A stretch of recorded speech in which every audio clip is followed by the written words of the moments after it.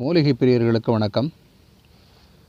இப்போ நீங்கள் பார்த்துக்கிட்டு இருக்கிற இந்த மூலிகையினுடைய பெயர் நாய் துளசி அப்படின்னு சொல்லலாம். மற்றொன்று இதை கொல்லை துளசி அப்படின்னு சொல்லலாம்.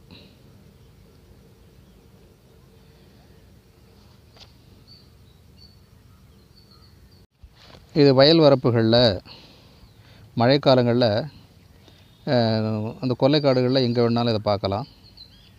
இது ஆடு மாடு இது யாருமே இது சாப்பிடாது. இது நம்ம அந்த நல்ல துளசிங்கிறது அது வேறு. அது அதுக்கான மருத்துவ பயன்கிறது வேறு. இது வந்து கொல்லை துளசி அதுக்கான மனம் அதுக்கான எல்லாமே இதுக்கு உண்டு. ஆனால் அதுக்கு கிடைக்கிற முக்கியத்துவங்கிறது வேறு. பட் நாய் துளசி மற்றும் இந்த கொல்லை துளசின்னு சொல்லக்கூடிய இந்த மூலிகைகளுக்கு கிடைக்கிற முக்கியத்துவம் வேறு. ஆனால் மருத்துவ பயன்பாடுகளில் அந்த நல்ல துளசிக்கும் எந்த விதத்தில் குறைவில்லாத அளவுக்கு இந்த கொல்லை துளசிங்கிறது மருத்துவ குணம் வாய்ந்தது. இந்த நாய் துளசின்னு சொல்லக்கூடிய இந்த மருத்துவ மூலிகை வந்து தோல் நோய்களை வந்து குணப்படுத்துறதுல ரொம்ப முக்கியமாக பயன்படுது. அந்த நாய் துளசினுடைய இலைகளை அரைச்சி ஒரு ஐநூறு கிராம் அளவுக்கு அதனுடைய விழுத வச்சுக்கிறோம். அதுக்கு இணையான அளவுக்கு ஒரு ஐநூறு மில்லி அல்லது வந்து ஒரு லிட்டர் தேங்காய் எண்ணெய் எடுத்துக்கிறோம். அடுப்பில் தேங்காய் எண்ணெய் ஏற்றி காய வச்சு அதுக்கு பிற்பாடு அந்த எண்ணெய் முருகல் நிலை அடைஞ்சதுக்கு பிற்பாடு இந்த அரைச்சி வச்சுருக்கக்கூடிய இந்த நாய் துளிசனுடைய இந்த இலை விழுதுகள் இருக்குது இல்லைங்களா? அதை அதில் அதை போட்டு கொஞ்சம் கொஞ்சமாக நம்ம வந்து அது கிண்டிக்கிட்டே இருக்கிறோம். அந்த எண்ணெய் வந்து முருகல் நிலையை அடையிற உடனே எண்ணெய் கொஞ்சம் அந்த பச்சை நிறம் மற்றும் அந்த மனம் அதை இப்போ சரியான பதத்தில் வரும்போது அதுக்கு ஒரு வகையான மனம் வரும். அந்த சமயத்தில் இறக்கி அதை ஆற வச்சுக்கிறோம். ஆற வச்சுக்கிட்டு அதை தேவையான நேரங்களில் நம்ம அதை வந்து பயன்படுத்துகிறோம் குறிப்பாக நம்ம உடலில் ஏற்படக்கூடிய அரிப்பு படை சொறி சிரங்கு சொரியாசிஸ் இப்படி பல்வேறு விதமான நோய்களுக்கு நம்ம மேற்சொன்ன இந்த நாய் துளசியினுடைய அந்த தைலத்தை அதை நம்ம வந்து தடவலாம். பிடிச்சதுன்னா அந்த இடத்துல இந்த துளசி எண்ணெயை வந்து நம்ம வந்து வச்சு நல்லா தேய்ச்சி விடணும். தேய்ச்சி விடுவதன் விளைவாக அந்த தேள்கடியினுடைய வலி வந்து குறையும். கடி வண்டு கடி இந்த மாதிரியான சின்ன சின்ன இந்த பூச்சிகளெல்லாம் வந்து நம்ம வந்து கடித்து அதனால் ஏற்படக்கூடிய ஒவ்வாமை அதனால் ஏற்படக்கூடிய வலி எரிச்சல் அப்படி ஏற்படும் போது அந்த இடங்களில் வந்து இந்த துளசி எண்ணெயை வந்து நம்ம தடவி தேய்ச்சி விட்டோம்னு சொன்னால் வலி குறையும் எரிச்சலும் குறையும். இந்த துளசி இலையை வந்து நம்ம வந்து அரைச்சி அந்த இலை சாறு இருக்குது இல்லைங்களா? அந்த இலை சாறு ஒரு இரநூறு மில்லி எடுத்துக்கிறோம். கூடவே அது கூட கொஞ்சம் மிளகு சேர்த்து கொஞ்சம் சுக்கு சேர்த்து பனங்கற்கண்டு கொஞ்சம் சேர்த்துக்கிறோம். இதெல்லாம் சேர்த்து ஒரு கஷாயமாக நம்ம வந்து கொதிக்க வச்சு அந்த கொதிக்கு அந்த கஷாயம் வந்து கொதித்து அடங்கினது பிற்பாடு அந்த கஷாயத்தை நம்ம வந்து காலை இரவுங்கிற அளவில் ஒரு நூறு மில்லி நம்ம சாப்பிட்டு வந்துக்கிட்டு இருந்தோம்னா காய்ச்சல் இருமல் நாள்பட்ட சளி இவை எல்லாமே சரியாகும். பல்வலிக்கு இந்த துளசி இலையினுடைய சாற்றை பயன்படுத்தணும். அதாவது இந்த இலைகளை போட்டு பல் வலிச்சதுனா கூட அந்த பகுதியில் எந்த பக்க பக்கத்தில் பல் வலிக்குதோ அந்த பக்கத்தில் அந்த இந்த இலைகளை வந்து பறித்து வச்சு நல்லா மென்று நம்ம விழுங்கினாலே அந்த பல் வலி குறையும். இந்த நாய் துளசியினுடைய இலைகளை ஒரு கைப்பிடி அளவுக்கு அரைச்சி அதனுடைய விழுதை வந்து நம்ம வெந்நீரில் கரைச்சி வயிறு கிடுப்பு ஏற்படும் போது அதை நம்ம பயன்படுத்தணும்னு சொன்னால் அதை குடித்தோம்னா வயிறு கிடுப்பு வந்து நன்கு குணமாகும்.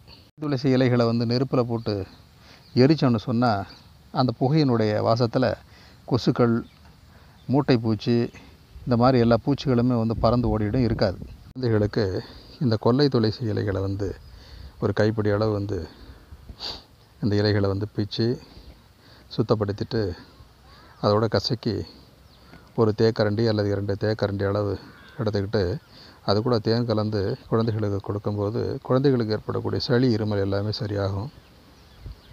ஏற்படக்கூடிய அரிப்பு சொறி படை இது போன்ற உடலில் ஏற்பட தோலில் ஏற்படக்கூடிய இந்த புண்களுக்கு இந்த அரைச்சி அந்த புண்ணு பட்ட இடத்துல பூசணும்னு சொன்னால் புண்ணு வந்து ஆறும். காது மந்தத்துக்கு மிகச்சிறந்த மருந்து. குறிப்பாக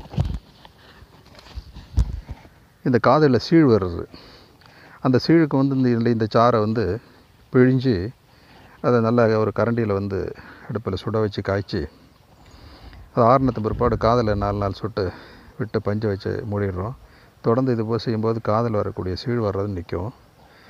கூடுதலாக இது இலைகளே வந்து தொடர்ந்து அந்த காதில் சரியாக கேட்கல போல் வரல. காது கொஞ்சம் மப்பு மந்தாரமாக இருக்குது அப்படின்னு சொன்னால் இந்த சாறுகளை நான் சொன்ன விதத்தில் வந்து காய்ச்சி அந்த பாதிக்கப்பட்ட அந்த காதில் வந்து ஒரு நான்கு நான்கு சொட்டு தொடர்ந்து விட்டு அது மாதிரி பயன்படுத்திட்டு வந்தோம்னு சொன்னால் ஒரு குறிப்பிட்ட காலம் வரைக்கும் அந்த காதில் ஏற்படக்கூடிய எல்லா பிரச்சனைகளும் சரியாகும். நம்ம இந்த கொல்லை துளசி இலையினுடைய சாறு எல்லாம் பிழிஞ்சி ஒரு இரநூறு மில்லி எடுத்துக்கிறோம். அது நல்லா காய்ச்சிடும் காய்ச்சி இது கூட வந்து சுக்கு இது பனங்கற்கண்டு எல்லாத்தையுமே சேர்த்துக்கலாம். சேர்த்து அந்த பானத்தை வந்து காலை இரவு தொடர்ந்து சாப்பிட்டு வந்துக்கிட்டு இருந்தோம்னா கடுமையான காய்ச்சல் வைரஸ் காய்ச்சல் மலேரியா டைஃபாய்டு மற்ற பெ இந்த பெருநோய்களுக்கெல்லாம் வந்து நோய் எதிர்ப்பு சக்தியாகவும் கூட இந்த துளசியிலே நம்ம பயன்படுத்தலாம்.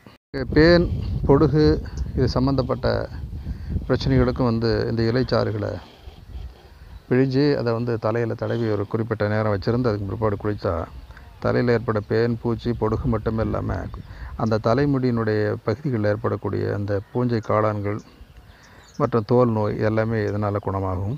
சர்க்கரை நோயால் வந்து பாதிக்கப்பட்டவங்க இந்த கொல்லை துளசி இலையினுடைய சாறை பிழிஞ்சு காய்ச்சி அதை குடிநீராக பயன்படுத்தும் போது சர்க்கரையினுடைய அளவு ரத்தத்தில் கட்டுப்படும். வந்து நேற்று முன்தினமே வந்து அதாவது நாளைக்கு இதனுடைய குடிநீரை குடிக்கிறேன்னு சொன்னால் நேற்று இரவே வந்து இதை நல்லா சுத்தப்படுத்திட்டு தண்ணியில் ஊற வைக்கிறோம். ஊற வச்சு அதனுடைய தண்ணியை வந்து காலையில் குடிக்கும்போது அந்த உயர்வை நாற்றம் சிலருக்கு பக்கத்தில் உட்கார முடியாது அந்த அளவுக்கு துர்வாடை வரும். அந்த மாதிரி வந்து உள்ள பிரச்சனை உள்ளவங்க இந்த துளசி இலைகளை வந்து நேற்று அதாவது இப்போ ஊற வச்சு அதை நேற்று ஊற வைக்கிறோன்னா நீ காலையில் அதனுடைய இந்த தண்ணியை வந்து காலைல குடிச்சிட்டு வந்தேன்னு சொன்னால் ரத்தம் சுத்தமாகும். தோலினுடைய பகுதிகளில் ஏற்படக்கூடிய தூர்நாற்றங்கிறது சரியாகும். ஆபத்து வாழ்க்கையில் ஈடுபடுறவங்க இப்போ தற்சமயம் எங்களுக்கு குழந்தை பெற்றுக்கிறதுக்கு ஆசை இல்லை அப்படின்னு நினைக்கிறவங்க இந்த இலைகளில் வந்து ஒரு குறிப்பிட்ட அளவு வந்து தொடர்ந்து ஒரு பத்து பதினஞ்சு நாளைக்கு பயன்படுத்திட்டு வரோம். அப்படி பயன்படுத்திட்டு வர்றதனுடைய வகை இந்த வேண்டாத அந்த குழந்தை பேரை வந்து தள்ளி போடலாம். அதுக்கு இதுக்கு மிகச்சிறந்த ஒரு மருந்து இந்த கொல்லை துளசின்னு சொல்லக்கூடிய நாய் துளசி. இரண்டுமே வெவ்வேறு நிலைகளில் அதாவது அதுக்குரிய பயன் தருது. அது நல்ல துளசிங்கிறது அது வந்து அதுக்கான அதனுடைய அது அந்த மருத்துவ உலகில் அதுக்கான பங்குங்கிறது தனி.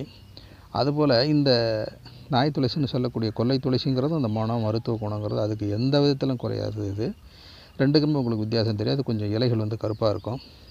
இது கொஞ்சம் இலைகள் வந்து கொஞ்சம் பச்சை நிறமாகவும் கொஞ்சம் வெள்ளை நிறமாகவும் பார்த்தா வெளுப்பாக தெரியும். இதை கண்டுபிடிக்கிறது ரொம்ப எளிது. இது சின்ன சின்ன செடியாக தான் இருக்கும். ஆனால் வந்து நல்ல துளசிங்கிறது கொஞ்சம் உயரமாக ஒரு ஒரு மீட்டர் அளவு கூட உயரமாக வளரும். இது இந்த இந்த துளசி வந்து இந்த கொல்லை துளசிங்கிறது இதுக்கு மேலே இது உயரமாக இப்போ இருக்காது. அவ்வளோதான். ஒரு அடி உயரம் தான் இப்போ இருக்கும் செடி. இது எல்லாமே வந்து களை செடின்னு சொல்லி ஒதுக்கிடுவாங்க. அது யாருமே பயன்படுத்துறதில்ல. இதை பாருங்கள் இதுவும் அதே போல் தான் இருக்கும்.